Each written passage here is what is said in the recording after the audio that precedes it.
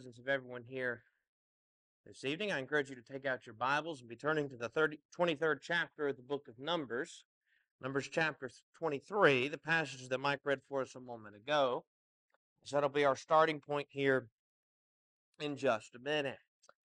But the background before we get to Numbers 23, really chapters 22, 23, and 24 is a story familiar to us, mostly the contents of 22. And that is, it is the story of Balaam and Balak. And so as you go back into chapter 22 and you see the events of, of Numbers chapter 22, it's where Balak is sent out for Balaam uh, because he's heard that whoever he blesses is blessed, but whoever he curses is cursed. And so he sends for, uh, Balak sends for Balaam to come to him because he sees the people of Israel. He sees how uh, how numerous they are, and he would like Balaam to come and curse the children of Israel. And so he calls there for Balaam.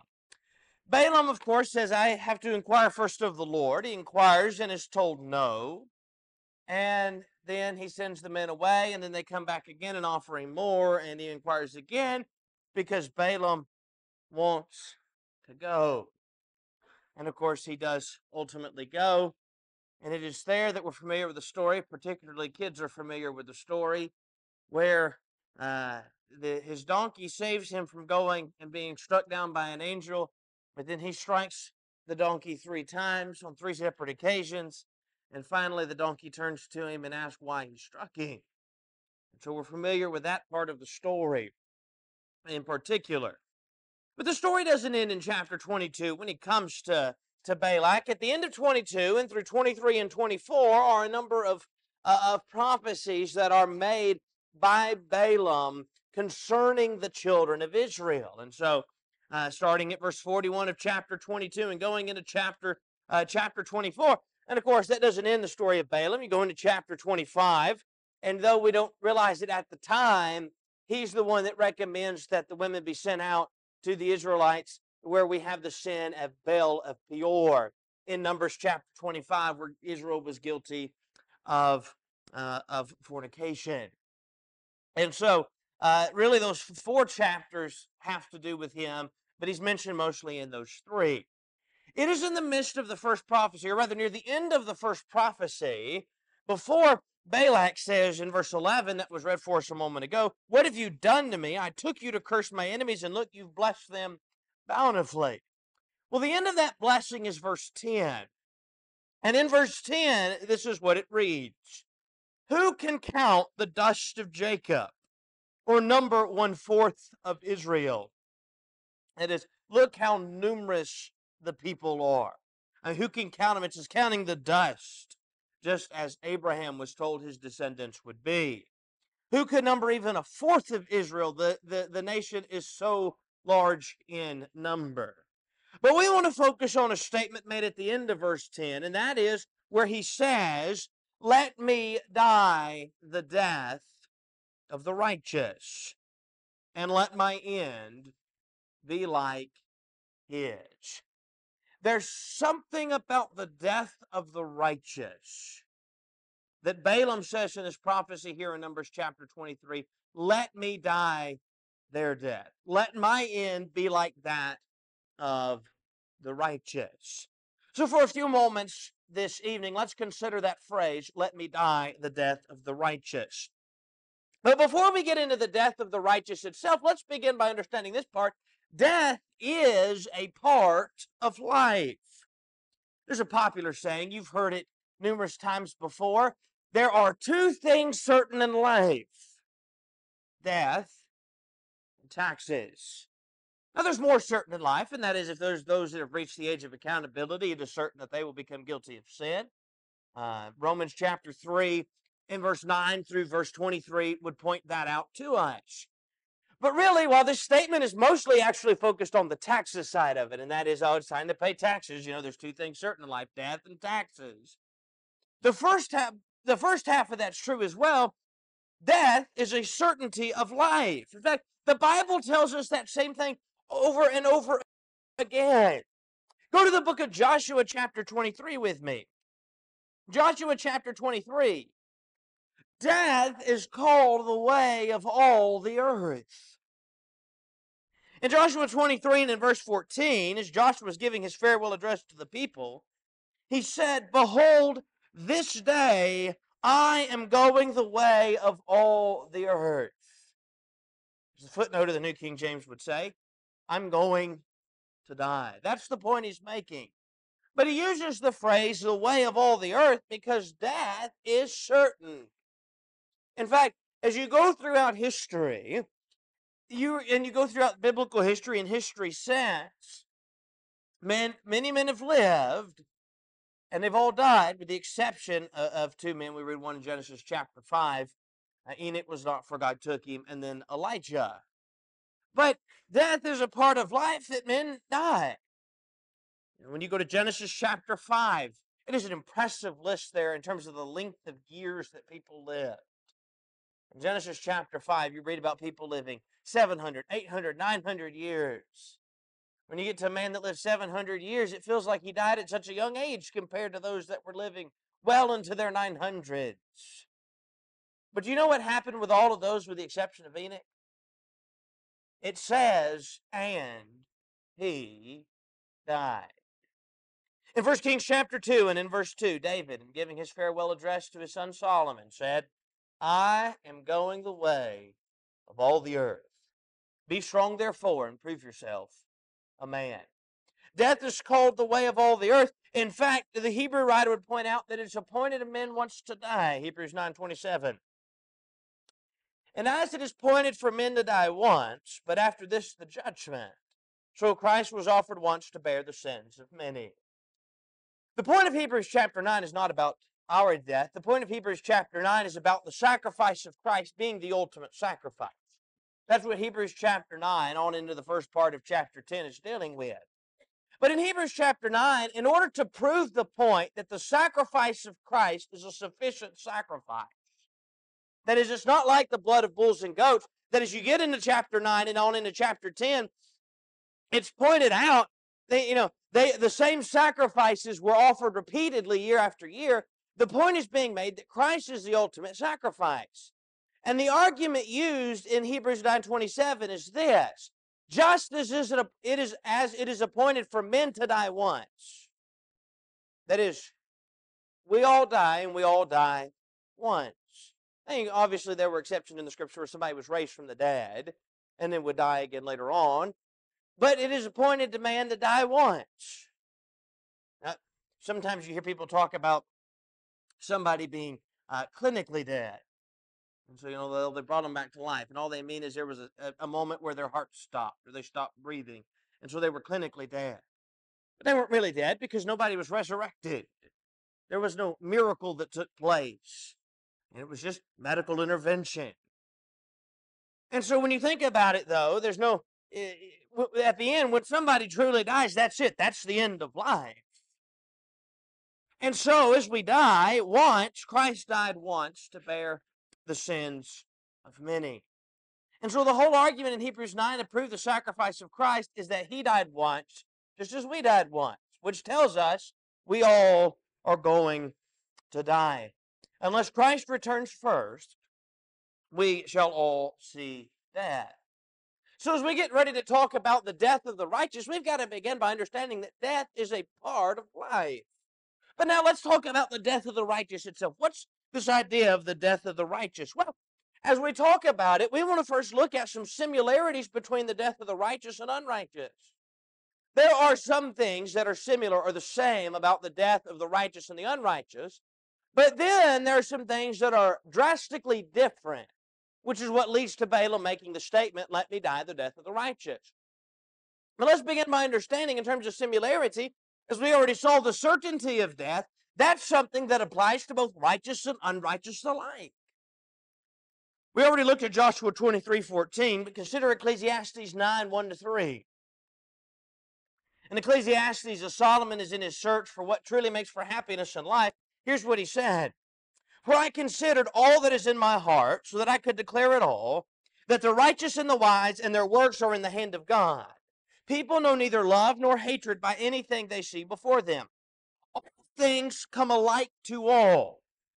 One event happens to the righteous and the wicked, to the good and the clean, or to the good, the clean, and the unclean, to him who sacrifices and to him who does not sacrifice.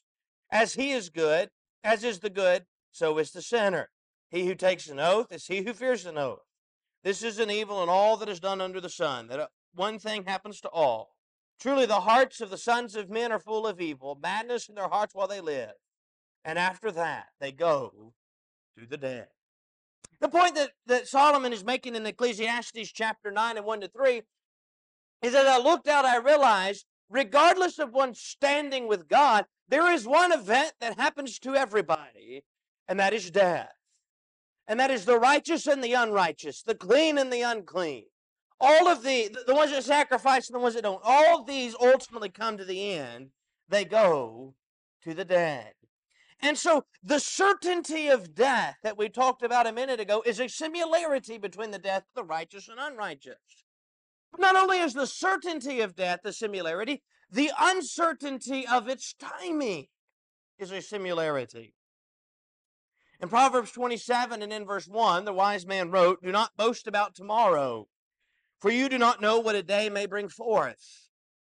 In James 4 13 to 16, James wrote by inspiration and said, Come now, you who say today or tomorrow we will go to such and such a city, spend a year there, buy, sell, and make a profit, whereas you do not know what will happen tomorrow. For what is your life? It is even a vapor that appears for a little time and then vanishes away. Death is certain, its timing is not. We may we our life may be required of us tonight, it may be tomorrow, it may be a week from now, it may be 15, 20, 30, 40 years from now. We just don't know. Death is certain. That's the similarity between the righteous and unrighteous. Its timing is uncertain. That's true for both the righteous and unrighteous. What happens physically, that is the separation of the spirit and the body, that happens to both the righteous and the unrighteous. In Ecclesiastes 12 and in verse 7, it says, Then the dust will return to the earth as it was, and the spirit will return to God who gave it. In James chapter 2 and in verse 26, and talking about faith and works, he said, you know, talking about some that say, You show me your faith without your works, I'll show you my faith by my works. He makes the point illustrating what kind of faith you have if it is without works. For as the body without the spirit is dead, so faith without works is dead also. That is, there, when somebody dies, at the end of somebody's life, you can't look at what happens to them physically and go, you know what, that was a righteous person or that was an unrighteous person. Just by looking at the physical aspect of death, it's the same. It's the separation of the spirit and the body, whether one's righteous or unrighteous. That is eh, exactly the same. And let me say this there's another similarity, and that is it is not the end of either. Death is not the end of the righteous, nor is death the end of the unrighteous. Go to Luke 16 with me. It's a story very well familiar to us. It's a story. I don't think it's a parable. We talked about this when we studied the book of Luke. Uh, if it is a parable, it's the only one in which Jesus used the name. And he talks about two men, a rich man and a man named Lazarus. And it said, beginning at verse 19, that there was a certain rich man who was clothed in purple, fine linen, and fared sumptuously every day. But there was a certain beggar named Lazarus, full of sores, who was laid at his gate, desiring to be fed with the crumbs which fell from the rich man's table. Moreover, the dogs came and licked his sores, so it was that the beggar died and was carried by the angels to Abraham's bosom. The rich man also died and was buried. And being in torment in Hades, he lifted his eyes and saw Abraham afar off and Lazarus in his bosom. And you can read the rest of the story later on. But the point we're trying to see is both of them died. One was righteous, one was not. One was in torment, one was in Abraham's bosom or paradise, awaiting the final judgment. They were both in the Hadean realm, awaiting final judgment. And then ultimately, we're going to stand before Christ in judgment, and those that have uh, that have done evil will receive condemnation, and those who have done what is right will receive the resurrection unto life. But the point that we need to understand is death is not the end. If death was the end, then why are we here tonight? When you think about that, if death is the end, then why, why, why do we come together? Why do we spend time in prayer? Why do we spend time in study? If death is the end, then all there is is this life. And as Paul would point out, then eh, let's eat, drink, and be merry, for tomorrow we die. If there is nothing after this life, but there is, there's resurrection, either to life or to condemnation. And so the point we need to understand is, is that death is not the end, whether righteous or unrighteous. Death is not the end for either one. So you see, there are similarities between the death of the righteous and unrighteous. It's certainty, it's uncertainty of timing, what happens physically, and the fact that it's not the end of either. But now let's talk about the differences. What are the differences in the death of the righteous and the unrighteous? Well, let's begin by understanding God's view of it is different. Go to Psalm 116. God's view of the death of the righteous is that it is something that is precious. Precious in the sight of the Lord is the death of his saints. Psalm 116 and in verse 15. And we'll talk in a minute from our aspect as to why we should view death differently if we're righteous versus unrighteous and the differences that are pointed out.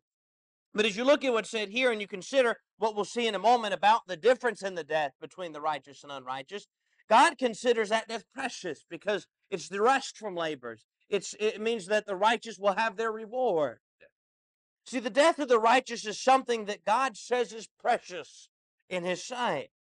But on the other side of that, in Ecclesiastes 33 11, it would, the Lord would say this As I live, says the Lord God, I have no pleasure in the death of the wicked, but that the wicked turn from his way and live. Turn, turn from your evil ways, for why should you die, O house of Israel?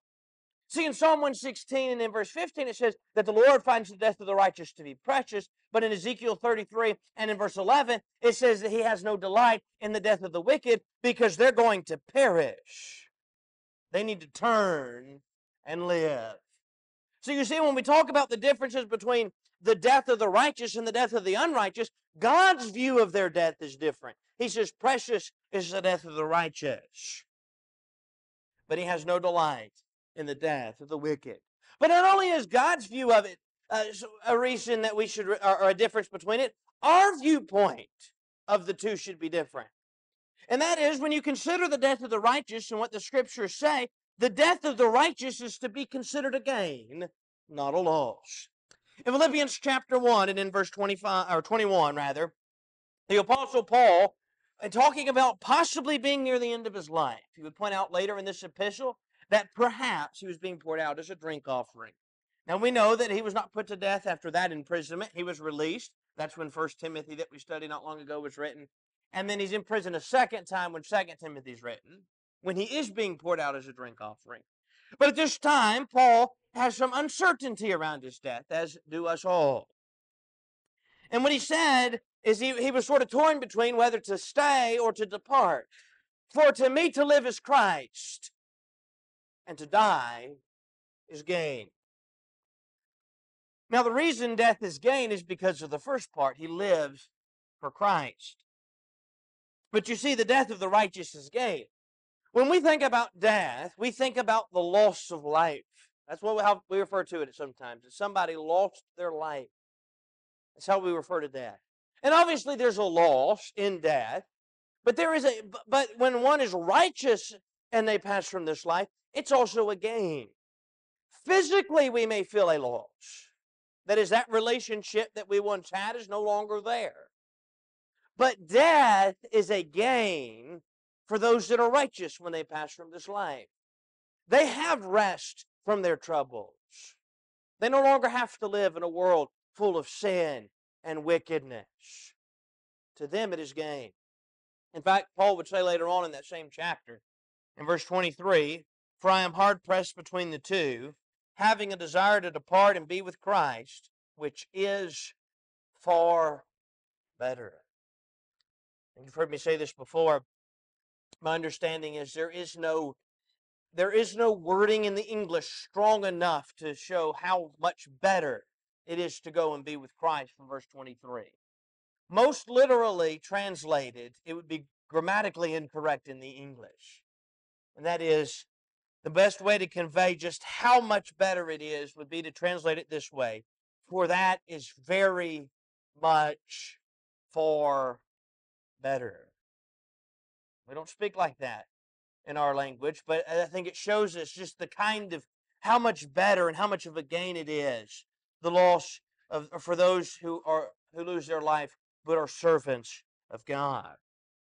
But not only is it a gain, it's something to have comfort in, not something to be feared. If you look up a list of the top fears of people, you'll find a number of things. Fear of heights will be up there. Maybe fear of things like spiders or snakes or some kind of uh, creature is up there. But one of the things near the top of most people's fear list is a fear of death. And if you're not righteous, death is something that should be feared. Because it's the end of an opportunity to come to Christ, as Luke 16 would point out, where the rich man can no longer change. But for those who are faithful servants of God, death is not something to be feared, it is something to find comfort in. In 1 Thessalonians chapter 4, the question is being raised by those at Thessalonica what has happened to those who've passed on? Those who are servants of God that are no longer with us. A time has passed. Uh, several years have passed since Christ has ascended into heaven. Some who were serving Him faithfully passed from this life.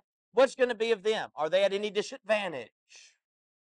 Paul is pointing out throughout this chapter how they'll be raised from the dead. And when he said in verse 16 is, For the Lord himself will descend from heaven with a shout, with the voice of an archangel, and with the trumpet of God, and the dead in Christ will rise first. Then we who are alive and remain shall be caught up together with them in the clouds to meet the Lord in the air. And thus we shall always be with the Lord. In verse 18. Therefore, comfort one another with these words. It's not just comfort for those that are alive when Christ returns. It's comfort for those know, uh, for those knowing that if they die, or for those they've loved that have passed on, that they have the same hope. And that is, they may not, they're not having to stand there going, "What happened to to, to my, my parents or grandparents or siblings or cousins or whoever's passed from this life? Are they at any disadvantage? And the answer is no. They will be called up to meet Christ in the air just as we will. They'll be raised from the dead. Use these or comfort one another with these words. You tell this to one another to provide comfort. There's comfort in the death of the righteous. Acts chapter 12, I think, would prove that point. In Acts chapter 12, here James the brother of John, has been killed with the sword by Herod. Peter is taken and put into prison. They're waiting for the Passover to end before Peter is to be put to death. Peter is being kept in prison while prayer is being offered for constant prayer is being offered to him by the church according to verse 5 but now it comes the day before peter is to be put to death. The next day is set to be the uh, the day that Peter is killed because of his service to God. And here's what it says in verse 6 And when Herod was about to bring him out, that night Peter was sleeping, bound with two chains between two soldiers, and the guards before the door were keeping the prison. Now behold, an angel of the Lord stood by him, and a light shone in prison, and he struck Peter on the side and raised him up, saying, Arise quickly. And his chains fell off his hands. Peter's supposed to be put to death. You know where we find Peter? We find Peter sleeping, chained between two guards. I think I've used this illustration before. If you have some task you're supposed to undertake next I don't care what it is. But particularly if it's something that perhaps could cause some kind of worry, some kind of anxiety about it. If you're scheduled for a surgery early in the morning, you may have a hard time sleeping the night before. If you're scheduled for a test early in the morning, you may have a hard time sleeping the night before. Not even with anything like that. If you just know you have to get up and undertake something, maybe you've got to go on a trip early in the morning, you may have a hard time sleeping the night before. Peter is supposed to be put to death. He's not sleeping in a comfortable bed on a pillow where it's nice and cozy. He's chained between two guards, and yet he can sleep. Because if Peter's life's taken from him, he's gained his reward. There's comfort in death. He could find the comfort in the possibility of his death. We can find comfort in our death and comfort in the death of loved ones who've gone on, who served God faithfully. What's different about the death of the righteous and the unrighteous? Well, God's view of it's different. Our view of it should be different. It's a gain, it's not a loss. There's comfort in it, not something to be feared. Thirdly, we have a hope and an expectation of the resurrection and the life. The unrighteous, the resurrection unto condemnation. In John chapter 5 and in verse 28 and 29, Jesus said, Do not marvel at this, for the hour is coming in which all who are in the graves will hear his voice and come forth. Those who have done good to the resurrection of life, those who have done evil to the resurrection of condemnation. As I said earlier, if this life is all there is, then there would be no need for us to spend all our time to spend all our time studying and to spend time in worship and to spend time in prayer because when this life is over, that's all there is. But we know that's not the case. There's a resurrection, and all who are in the grave will be resurrected. It's a matter of what resurrection will it be. And for those who are righteous, they have the resurrection unto life. The resurrection to be with God forever, gathered around the throne singing praises to Him. As the song Amazing Grace says, we've been there 10,000 years, bright shining as the sun, we've no less days to sing God's praise than when we first begun. But on the other side of that, those who have done evil have the resurrection of condemnation. Some translations say the resurrection, the judgment. And that is, they will be raised from the dead, but they will suffer eternal condemnation in hell. There's no comfort in that. That's not a gain, that's a law. You see, we have the hope, but not just the hope, the expectation. And I think sometimes we forget that aspect of hope. Now, the word hope, sometimes we use the word hope and we're talking about desiring something. I hope that and it's really we're using it as desire. The word hope really has desire, is desire plus expectation. We have the hope and the desire. We have the expectation because God has promised us the resurrection and the life if we will serve Him faithfully. So our viewpoint of death should be different. God's viewpoint of the death of the righteous and unrighteous is different. Our viewpoint of the death between the righteous and unrighteous should be different. And then let's understand this. Here's the big here's a big difference. The death of the righteous it is a blessing. In Revelation 14 and in verse 13 it says, Then I heard a voice from heaven saying to me, Right, blessed are the dead who die in the Lord from now on. Yes, says the Spirit, that they may have rest from their labors and their works followed. Because of the rest from labors. In fact, we talked about that in our invitation on Wednesday evening in, in 2 Thessalonians chapter 3 that there were those who would have trouble would have rest. There were those who would cause the trouble in this life that would suffer tribulation and punishment from God. And that is, if we're the faithful servant of God, we have rest. Rest from all the toils, troubles, and labors of life. And because of that, death is a blessing for those who die in the Lord. Balaam said, Let me die the death of the righteous, let my end be like his. We have to understand first and foremost, as we talk about dying the death of the righteous, we've got to start by understanding that death is just a part of life. It's something that is certain. We then need to understand the death of the righteous, and, uh, and so that involves us involve understanding first and foremost some similarities between the righteous and unrighteous death, in that they're both certain. The timing of when they will happen is uncertain. What happens from a physical standpoint is the same, and it is not the end of either, because both will stand before God in judgment. There are some differences, though. God's view of it is different. He views the death of the righteous as, pre- as precious, the death of the uh, wicked, he has no delight in. Our viewpoint should be different because the death of the righteous is a gain, not a loss. There's comfort in it, it's not something to be feared. We have the hope and expectation of the resurrection and the life, while the wicked have the resurrection, the, the expectation of the resurrection and the condemnation. and the death of the righteous is a blessing. As we close this evening, let's consider one more thing, and the lesson will be yours. Let's consider for a few moments how to have the death of the righteous. Balaam said, Let me die the death of the righteous. As we've looked at all of these different similarities and differences between them, hopefully our attitude is that of Balaam. Uh, and what he says in, in Numbers 23 10, let me die the death of the righteous. When I die, I want it to be the death of the righteous. How do we have that? Well, first and foremost, we walk in God's commandments. In Luke chapter 1, we're introduced to a man by the name of Zacharias and his wife Elizabeth, parents of John. And what it says of them in verse 6 is, and they walked, or they were both righteous before God, walking in all the commandments and ordinances of the Lord blameless. Why is it that Zacharias and Elizabeth could be described as righteous individuals? Well, they could be described as righteous because they walked in all the commandments of God. And so you say, I want to die the death of the righteous. I want my end to be like that of the righteous. I want to have that comfort. I want to have that gain in death. I want it to be a blessing.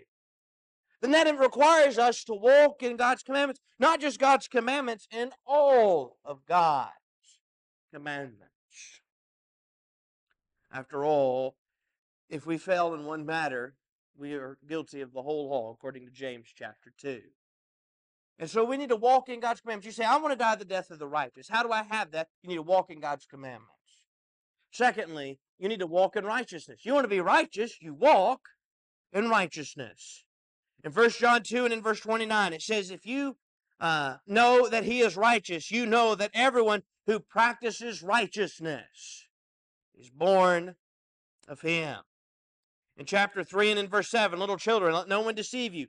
He who practices righteousness is righteous, just as he is righteous. You say, I, I want to have the death of the righteous. Well, in order to, to do that, you've got to be righteous, which means you walk in righteousness. You do that which is right. You follow God's law. You follow God's plan. It's not about what we want, it's about what God says. In fact, in, Romans chapter 1 and 16 and 17, Paul said, For I'm not ashamed of the gospel of Christ. For it is the power of God to salvation to everyone that believes, to the Jew first and also to the Greek. For in it the righteousness of God is revealed from faith to faith. As it is written, the just shall live by faith. Better translated is not just, it is the righteous shall live by faith. And so the righteousness of God is revealed in the law. And as you go throughout the book of Romans and how it's used and how we need to submit to it, Romans chapter 10. How it's revealed apart from the law, Romans 1 and Romans 3. How is something we don't need to be ignorant of. What you see is God's righteousness is described in Romans is God's plan to make man righteous. It's that which is revealed in the gospel, according to Romans 1. And so we walk in righteousness. That is, we walk in the commandments of God. We walk in righteousness. We do what He says is right. Not only that, in order to be righteous, we don't just do what's right, we avoid that which is sinful. We abstain from sin. In 1 John 5 and in verse 17, it says, All unrighteousness is sin. And there is a sin not leading to death. In chapter 3 of the same chapter, uh, the same book, he said in verse 3 beginning, And everyone who has this hope in him purifies himself just as he is pure. Whoever commits sin commits lawlessness, and sin is lawlessness. And you know that he was manifested to take away sins, and in him there is no sin. Whoever abides in him does not sin. Whoever sins has neither seen him nor known him. Little children, let no one deceive you. He who practices righteousness is righteous, just as he is righteous. We abstain from sin. Say, I want to be found right in the eyes of God. I want to be somebody that's righteous. Being righteous involves doing God's commandments. It involves walking in righteousness. That is keeping in, in God's plan, God's plan for making us righteous. Not man's righteousness, not man's ideas, God's plan for making man righteous. It means we abstain from sin. And finally, it means we have an active faith. James 2, beginning at verse 20. It says, But do you want to know, O foolish man, that faith, or uh, do you want to know, O foolish man, that faith without works is dead? Was not Abraham our father justified by works when he offered Isaac his son on the altar? Do you see that faith was working together with his works? And by works, faith was made perfect. Listen to verse 23. And the scripture was fulfilled, which says, Abraham believed God, and it was accounted to him for righteousness. And he was called the friend of God. We have an active faith. We don't just have faith. We live in a society that has faith in the sense of they believe in God. According to verse 19, even the demons believe and tremble. It's not just a faith that we say, Oh, I believe in God, and I believe that Jesus is the Son of God, and I believe that Jesus came to this earth, that he lived, that he died, that he was raised from the dead. That's all part of, uh, uh, of faith. But it's not just that we believe, we have an active and an obedient faith. That's what's accounted as righteousness. That's what was accounted to Abraham as righteousness. He believed God. But he didn't just believe him, he acted on that faith. And it was accounted to him for righteousness. And so, how do I have the death of the righteous? I, like Balaam said, let me die the death of the righteous. We have seen what kind of death that is. We know death is certain, regardless of whether we're righteous or unrighteous. We know that we don't that, that, that its timing is uncertain for both righteous and unrighteous. We know the physical aspect of death, that is the separation of the spirit and body, is the same for righteous and unrighteous. We know that it's not the end of either one of, the, of us, the righteous or unrighteous. But there's some major differences. God's view that he views the death of the righteous as precious instead of having no delight in it. Our viewpoint, it's a gain, not a loss. There's comfort in it, not something to be feared. We have that hope of, of the resurrection and the life instead of the hope of, uh, or instead of facing the resurrection and the condemnation. It is a blessing. And so I want to make sure that when I die, I die the death of the righteous. That means I walk in God's commandments. I walk in righteousness. I abstain from sin. I have an active faith. Let me ask you this question as we come to a close. If your life was required of you tonight, would you die the death of the righteous? If you knew for certain that your life was required of you tonight, would you die the death of the righteous? As you look at yourself, can you say that I'm in a right relationship with God? I walk in His commandments. I walk in righteousness. I'm abstaining from sin. I have an active faith. If so, and your life was required of you tonight, you would die the death of the righteous. But if you look at yourself and you realize, you know what? If I, my life was required of me tonight, I would die the death the unrighteous. And what you need to do is have the attitude of Balaam. Let me die the death of the righteous. And realize that while I cannot guarantee you that your life is required of you tonight, I can guarantee you this. It'll come at a time at which you do not expect. Life is but a vapor, as James pointed out and we saw earlier. It appears for a short time and then vanishes away. Your life might be required of you. Even if your life is not required of you tonight, Christ could return and we could stand before him in judgment. And your fate would be the same whether you die tonight or Christ return tonight. So, what you need to do this evening is make your life right with God. If you're here and you've not yet obeyed the gospel, but you've heard the word of God. You believe that Jesus is the Christ, the Son of the living God. You not repent of your sins, confess your faith in Him, be buried in the waters of baptism, rising to walk in the newness of life, having your sins forgiven, having the hope of heaven when life on earth is over, having that hope of the resurrection unto life, and knowing that if your life was required of you tonight, you could die the death of the righteous. Maybe you're here and you've done that. You say, somewhere along the line, I've not been as righteous as I need to be. That I've gone outside the, uh, the doctrine of Christ. That I've not kept his commandments as I needed to. If it's a sin of a private nature, you can take it to the Lord tonight privately in prayer, and he'll forgive you if you're sincere of it. But if it's a sin of a public nature, you would desire the prayers of the congregation. We will gladly pray with you and for you this evening for God to forgive you. No matter what your need is, if we can assist you tonight in any way, which not for right now, so together we stand as we sing. Every